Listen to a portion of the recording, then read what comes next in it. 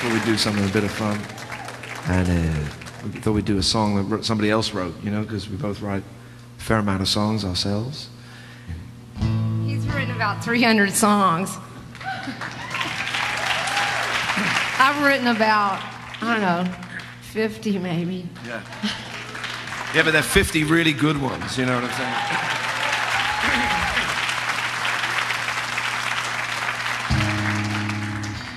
So we thought we'd do this here song that um, it's a kind of a country song, I guess, and uh, it's one that got me thinking about about this kind of music back uh, in the late '60s, I guess, or whenever it came out first.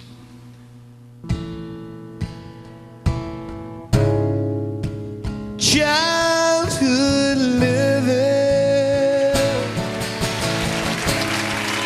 is easy to do.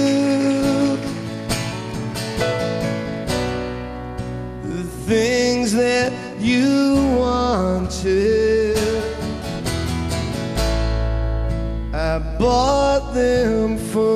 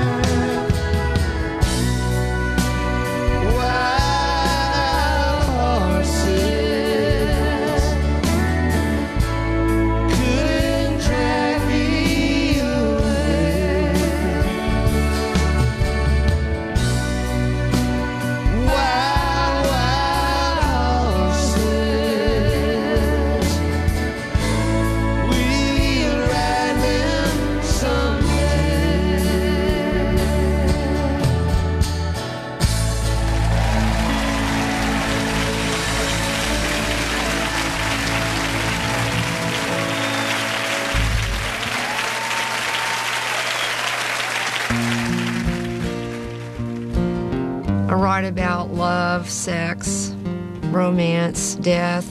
I'm an artist, and it's about, you know, self expression. To focus on her voice and the characteristics in her voice, married together with the incredible economy of her writing, make her so unique.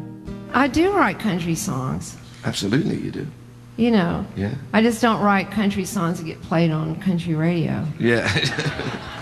They're just sort of forgotten what they are now. I think that's what it is. Yeah. Well, see, that's the whole point of all this. Is really how you define country music. yeah. That's what it comes down to. Well, it's like in, for- in my mind, it's Hank Williams and absolutely Loretta somebody. Lynn, and, you know. Somebody, and I think it's been attributed to um, Louis Armstrong, said that you know everything is folk music because he never saw a horse play music. You know, so uh, I, if he, maybe it was Groucho Marx. I don't know.